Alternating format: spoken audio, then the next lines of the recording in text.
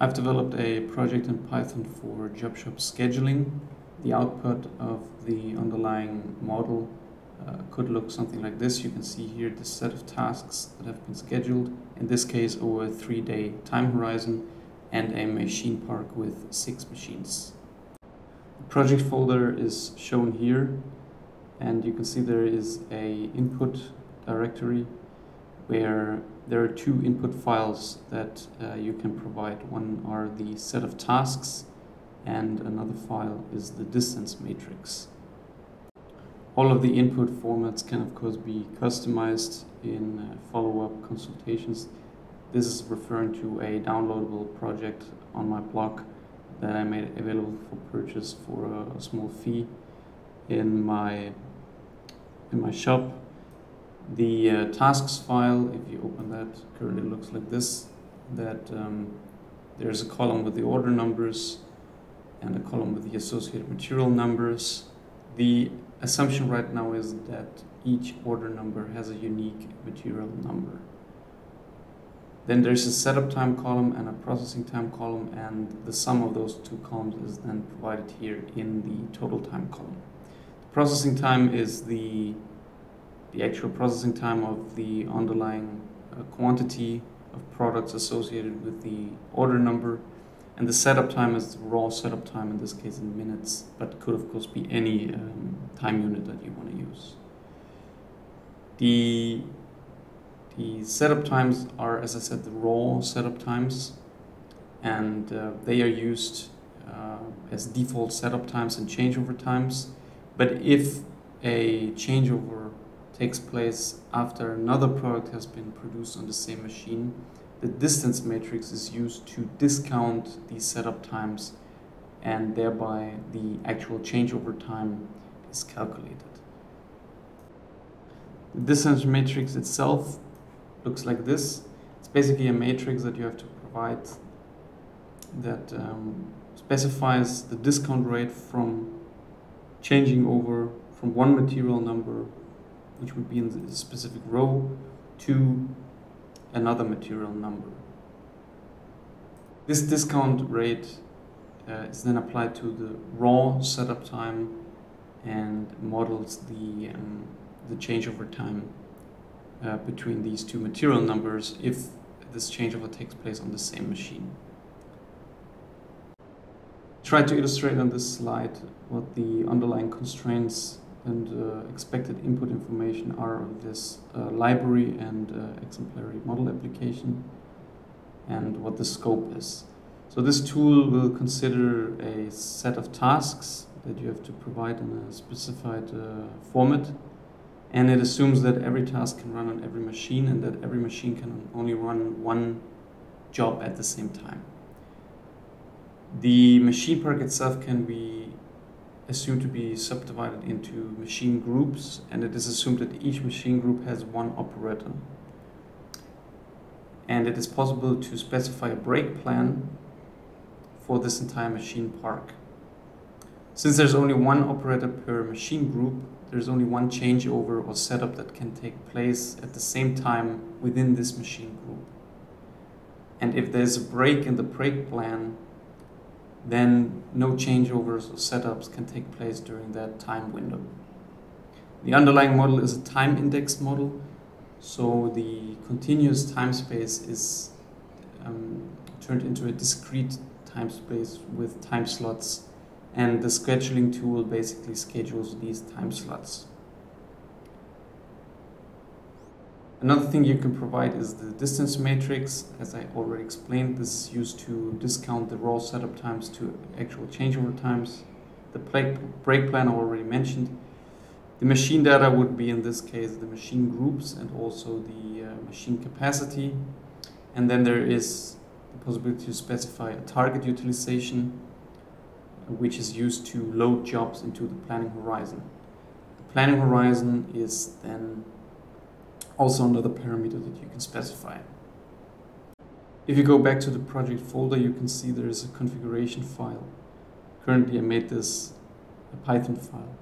If you open this file, uh, you will be able to change uh, some settings for this uh, solver um, for, for, the scheduling uh, tool and um, the associated library. So you can set the planning horizon, which are basically the uh, parameters up here. In this case, this would be the number of days of the planning horizon. It's then here converted into seconds. And um, you can also specify the length of a time slot in amount of seconds.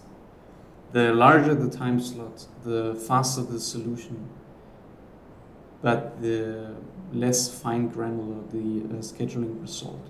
So the smaller the time slot, the more precise your solution becomes, the less um, the, less inefficient uh, planning you have in your schedule, but the longer the solver will take to run.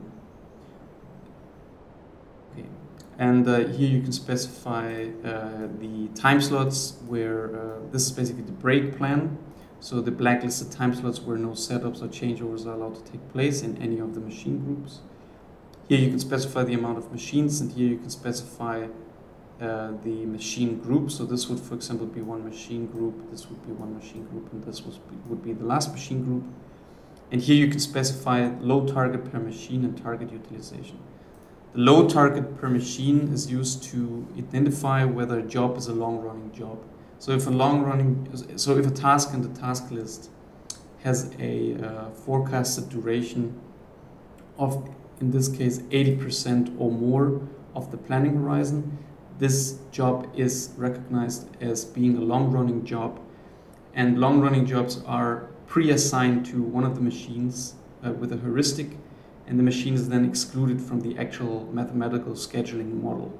This is done to make the scheduling more time efficient and to make the solver run faster. So the larger this parameter, the longer the jobs have to be in order to be recognized as long-running jobs. The target uh, utilization here is used to uh, specify what the um, how many jobs you're gonna load into the actual scheduling algorithm. So after the pre-assignment of long-running jobs, you have some machines and jobs that are still available for scheduling in the job list and the um, scheduling tool will then load the amount of jobs into the, the planning horizon up until this target utilization. This is done using the forecasted duration times of the jobs. If you set this factor to be very large, it might be that um, too many jobs are loaded into the planning horizon and when running the actual mathematical model, no feasible schedule can be found Keep in mind that the jobs then also have to be assigned to machines and this, the blacklisted time slots have to be considered. So um, if you want to integrate this into a, a, real production planning system, you will have to um, develop some kind of communication um, with this uh, with this tool. You will have to turn it into a library. I can also do that for you. Um, and then you will have to check, uh, do a pre-check if the loaded schedule is actually uh, feasible. And if not, you have to load the jobs again as um, specifying a new target utilization. Large well uh, is not something you have to change. This is set by default as it's used for the mathematical model. Um, basically, this is what would be uh, referred to as a big M value, um, but nothing you have to worry about. The parameters here can be used to run the model faster. So you can set, for example, the fast parameter to true, and if you set it to true, um, the scheduling, uh, the, the, mathematical model will return a schedule even if it's not 100% uh, optimal. Um, and it will use a specified absolute um, deviation gap for that. So you can uh, use these parameters to um, accept a less optimal solution um, with the benefit of having a faster solution run. Um, in this example uh, that I showed here uh, with the schedule in the beginning of this video, I, uh, I don't have to use this. And if the parameter is false, this means that the solution um, uses a, a, an exact solution. Then parameter key, k is the machine capacity, so the amount of time slots per machine that can be used for scheduling and, and production. So we can execute this now with the parameters that you can see on my screen. with the job list provided here in the task list, then you will see that uh, it will execute the implemented model. This is the solver log. Here you can see whether it found an optimal solution, which in this case it did. You can see the time it took to find the solution. This is the information from the CBC solver. You can also use Gurobi if you have a license. Okay, and then we can see the uh, schedule in the output folder. The output folder is the results folder. So if we go here and uh, we look at the schedule, we can see the output schedule here. We can also open a CSV file where the scheduling data is provided in CSV format. Now we can, for example, adjust the planning horizon. So let's say we want to um, de develop a schedule for a two-day planning horizon. Then I can adjust the number of days here. And then I can run the model again. Now it's building the model and it solved it, found an optimal solution. We look in the uh, output folder, we can open the schedule again. Not yet. Yeah, and now you can see the new schedule here for uh, two-day planning horizon. These are the long-running jobs. These are the jobs that are basically pre-assigned with a heuristic, and these are the jobs that have been scheduled. Now, in terms of the underlying technique or, or method, I use a mixture of heuristics and exact solving. And in this case, this means that long-running jobs are pre-assigned. So I choose one machine um, that receives this long-running job, and then this machine is excluded from the actual mathematical solving run to make the solving faster. This is the first heuristic. The second one is that the first setup on each machine and the first changeover is calculated using a heuristic. This is also done to aid the solution time.